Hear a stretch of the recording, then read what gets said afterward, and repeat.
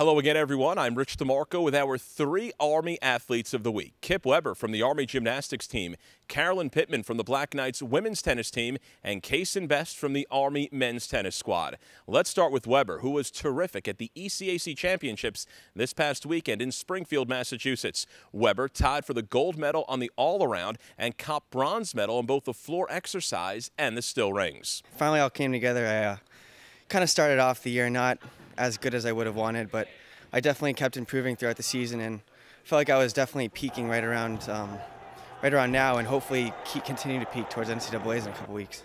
Yeah, it was a it was a great um, great competition. Basically, I was really just going in trying to do my best on each event for the team, and just so happened that I kind of put everything together and. And it was just kind of an added bonus at the end of the competition to find out that the, I was all-around champion of the Eastern Conference. It also was a great weekend for the Army men's and women's tennis teams as both squads won the Star over Navy on Sunday right here at West Point. Carolyn Pittman capped off a terrific week, a 2-0 singles mark and 1-1 in doubles, and two victories coming over Navy, winning the first Army singles point as well as the first doubles point. I was up 2-1, and then I got really ticked off. I started making a lot of mistakes, and some people saw me go crazy and start smacking the ground then I got my groove back after Martha told me just to slow everything down, and then it was easy and smooth after that. And then doubles. Um, I guess me and Mac were just head to head with the Navy guys, and then all of a sudden we just started making more and more shots and being more consistent, I guess you could say, and being aggressive. The experience is amazing. Um, I want to take it.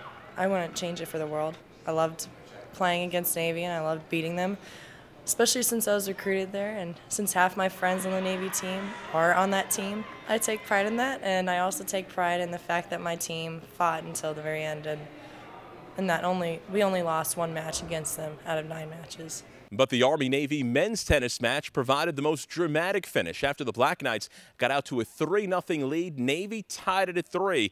It was then up to match point as Kason Best for Army went up against Navy freshman Austin Jones, and it was Best pulling out the match in three sets, giving Army the star over Navy. It was brutal. Uh, Navy played really well. Uh, the whole team came out fired up, and I mean, the louder they were, the better I played. So I feel like I played well the entire time.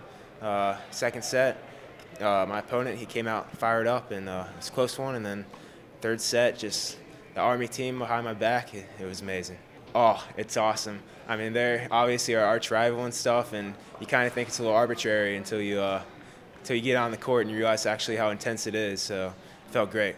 So there you have it, our three Army athletes of the week. Kason Best and Carolyn Pittman from the Army men's and women's tennis squads as both Black Knights teams won the Star over Navy, and Kip Weber, who had a tremendous individual performance at the ECAC Championships over the weekend in Springfield, Massachusetts.